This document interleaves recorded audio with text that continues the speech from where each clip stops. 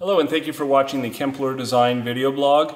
Uh, if you have brand new Hunter Douglas cellular shades, that would be the uh, Duette or the Applause, you're going to see this little key that gets included with it. Let's see how it works. If a window is out of uh, level, you'll see on the bottom of this um, bottom rail, you'll see these holes. This fits right inside of it, and then by turning to the left, you're lowering the shade, and by turning to the right, you're raising the shade. Each click is about an eighth of an inch, so you want to be careful that you don't go too much, but that's how you level out a shade uh, that is less than level. Thank you for watching the Kempler Design video blog.